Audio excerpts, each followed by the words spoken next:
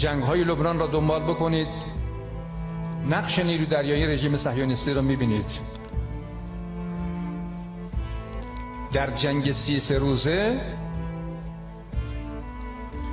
اماد مفاجعه جدیدی غافلگیری جدیدی برای دشمن ایجاد کرد و عجیب این بود که خداوند تبارک و تعالی این کار را در لحظه ای انجام داد که این جمله از دهان مبارک دبیر کل عزیز حزب الله خارج شد و گفت الان می‌بینید در جلوی خودتون.